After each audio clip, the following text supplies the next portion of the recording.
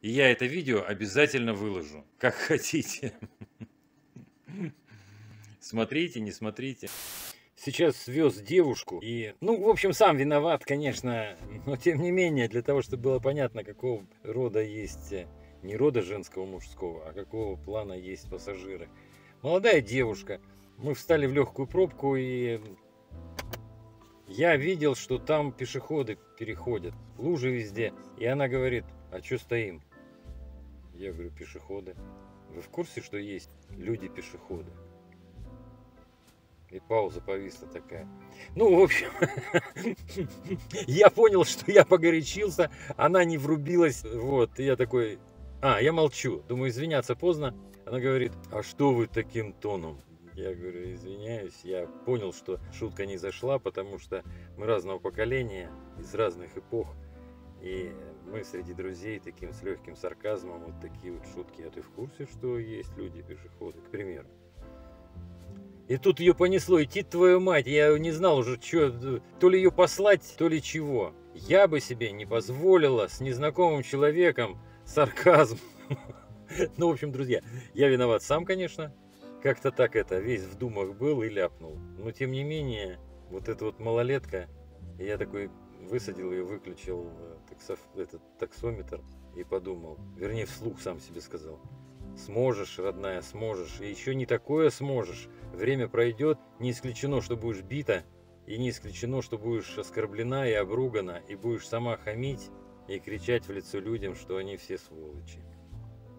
Вот и какая-то такая у меня музыкальная пауза. На самом деле все хорошо. И у нее жизнь наладится, и она будет счастлива. Я уверен.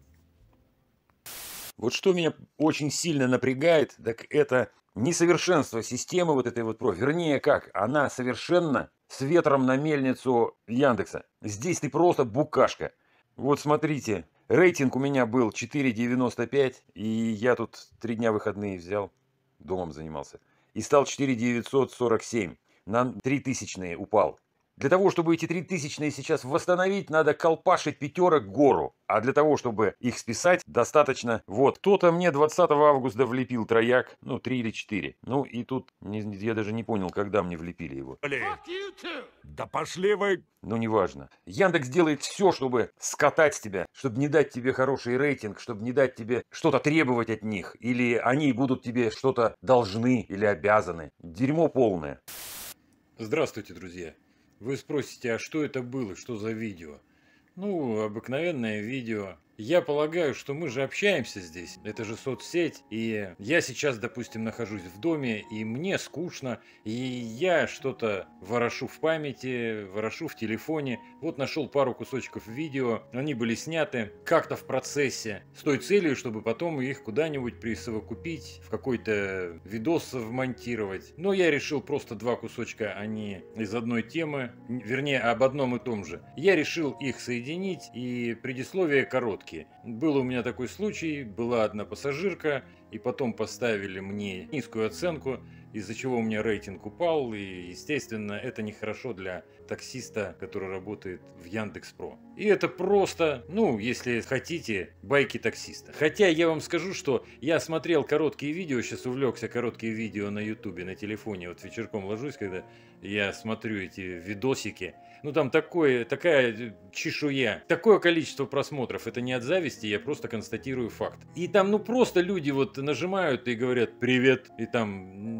хохочут или еще что-то подпрыгивают, и это выкладывают. И это их э, жизнь, это их способ общения. Если хотите, это провокация, да что угодно. И я это видео обязательно выложу, как хотите.